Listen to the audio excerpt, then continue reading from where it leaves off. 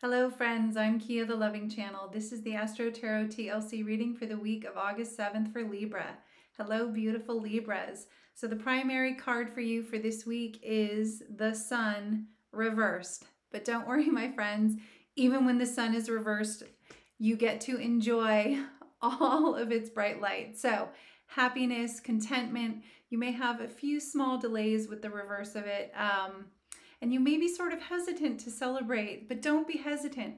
Celebrate, be happy, relax, enjoy. You'll feel some renewed vitality.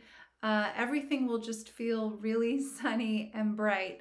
The secondary energy that's showing up for you all for this week is the Emperor upright. So, with this happy contentment, you also have this undertone of balance, right? Which is right at home for you guys order, tradition, um, you know, really, really using your masculine energy and your personal power, your inner authority. So uh, move forward on some things, make some decisions, work through some some projects, or if there are things you've been wanting to get started, go for it this week. You have all this beautiful, happy sun energy coming to you, and then you have this strong masculine energy, you know, available to you that can move through you so you can move things forward.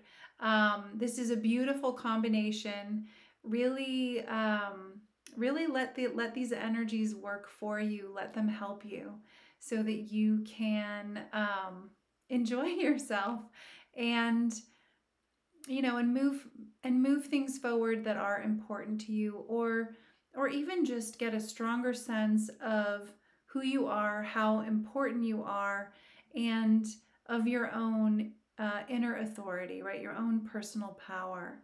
Uh, and also how and again for you guys this isn't hard uh, but how tradition and order uh, kind of uh, can can work for us, right? That's that's another thing with this masculine energy is that, at least with the Emperor, is that uh, order helps promote balance and move things forward in a peaceful way with honesty um, and integrity. So that's that's right up your alley. So you're gonna have a beautiful week, my dear Libras.